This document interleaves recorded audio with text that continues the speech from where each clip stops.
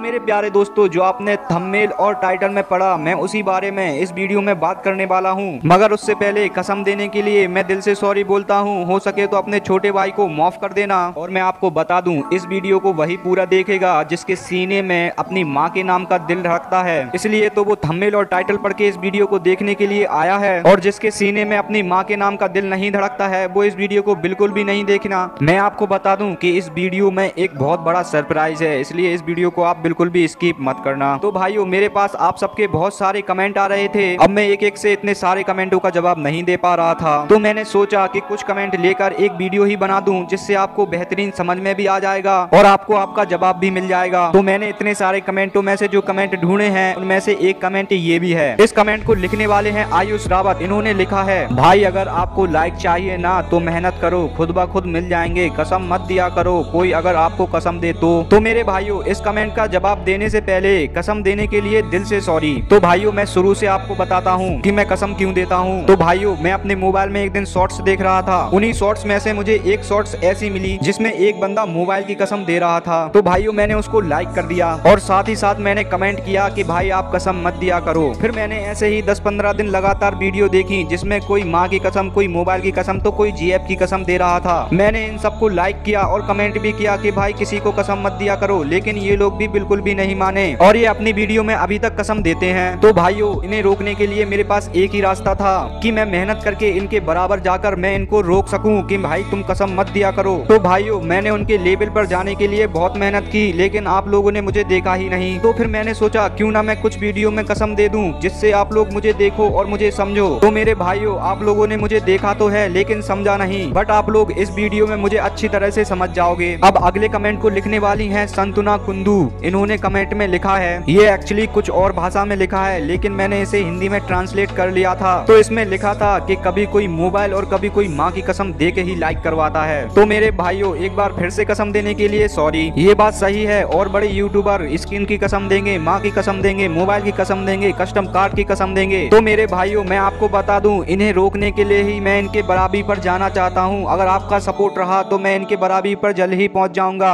और मैं आपसे अपनी किसी भी वीडियो में कसम नहीं दूँगा। और अगर आप बाकी में ही चाहते हो कि ये बड़े यूट्यूबर भी कसम ना दें तो मुझे सपोर्ट करो, जिससे मैं इनके लेवल पर जाकर इन्हें समझा सकूँ और इन्हें रोक सकूँ। तो मेरे दोस्तों, इस वीडियो में इतना ही, और आपसे अलविदा लेता हूँ और माफ़ी भी माँगता हूँ। आप अपने छोटे भाई को माफ़ कर देना। मैं आज इस वीडियो में आपसे लाइक नहीं मांगूँगा, लेकिन फिर भी कहता हूँ कि आप इस वीडियो को इतना फैलाना कि जो दूसरे बड़े यूट्यूबर हैं, वो समझ सकें। और अगर आपको चैनल प्रमोट करवानी है तो भाइयों, आप अपने दो दोस्तों में इस वीडियो को शेयर करना, और इस वीडियो पर लाइक करना, और कमेंट करना हैश